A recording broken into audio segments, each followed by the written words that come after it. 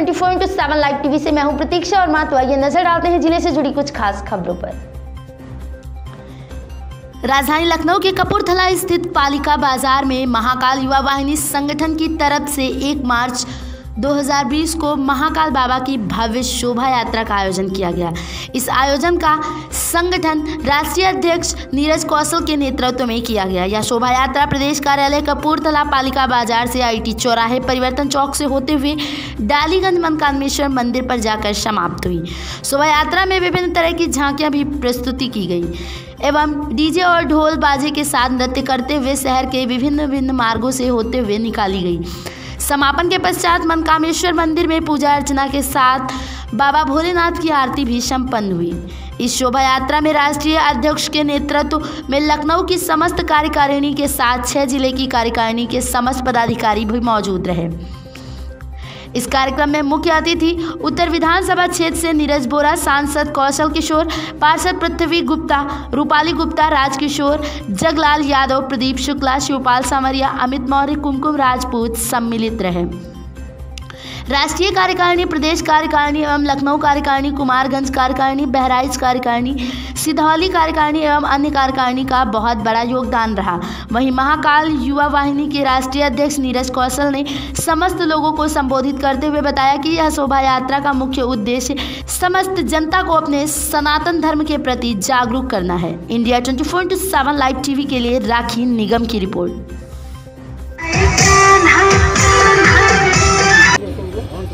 को वाहिनी से राष्ट्रीय नीरज कौशल आज जो आयोजन का दिया विषय पे थोड़ी कुछ टिप्पणी बताइए। आज का जो हमारा प्रोग्राम हुआ है ये महाकाल युवा वाहिनी की ओर से एक महाकाल बाबा की भव्य शोभा यात्रा का आयोजन किया जिसमें हमारे कई जिलों के जो है टीमें आई हुई हैं और हमारे लखनऊ की सारी टीम सम्मिलित है। इस शोभा यात्रा के द्वारा आप लोगों को क्या संदेश देना चाहते हैं? जनता के लिए क्या मतलब जागरूकता इस शोभा यात्रा की उससे हम लोगों को ये संदेश देना चाहते हैं कि जिस तरह से हम मेहनत कर रहे हैं और लोगों को साथ में लेके चल रहे हैं इसी तरीके से अगर हमारी ये सोच से सभी लोग ये सोचने लगेंगे तो आने वाले समाज में जो बहुत सारी चीज़ें जो है बदल जाएँगी लोग एकजुट हो जाएँगे। ये शोभा यात्रा कहाँ से निकाली गई है और ये हमारे प्रदेश कार्यालय कपूरथला पालिका बाज़ार से आपकी निकली है और ये आईटी चौराहे से होते हुए परिवर्तन चौक से हम मनकामेश्वर मंदिर में आए ये रैली का जो है समापन है।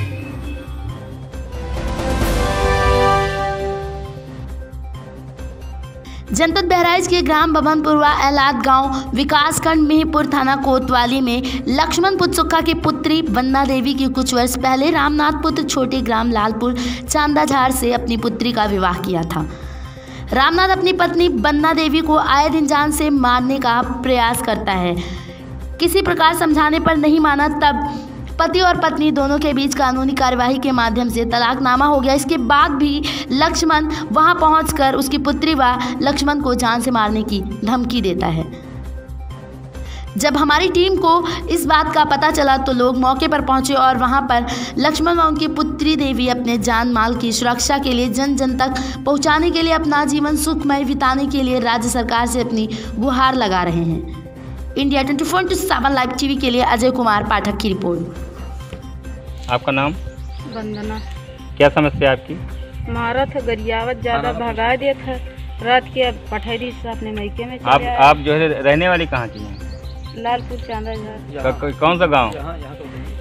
बभनपुरवा मौजा अरे अहलाद और बिला कौन सा है? बहिरई। ठीक है।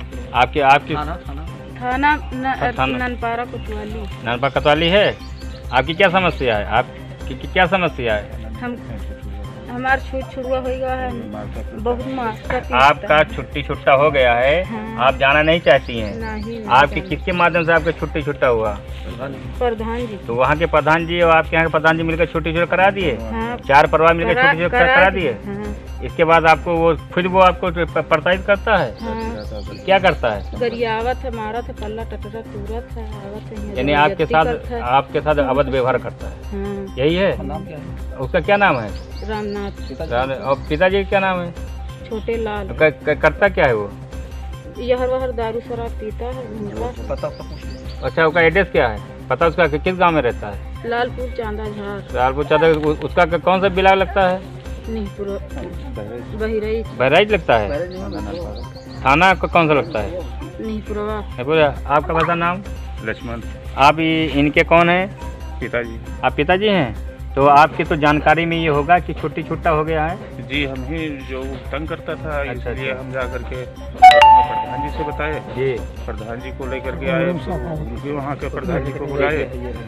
और दोनों आदमी को सबको बुला करके फिर मौजे के और आदमी बड़े बड़े लोगों को जी।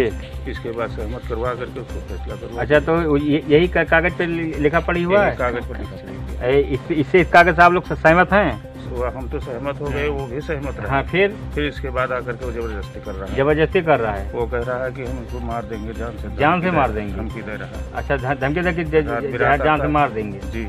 और रात बिरात आता है दारू पी के हम बट बवाल ज़्यादा करता है। आ- अब आपने जो है पुलिस पुलिस में कंप्लेन की? हाँ सौ नंबर लगाए भी चौबीस घंटा बंद भी रहा जेल फिर?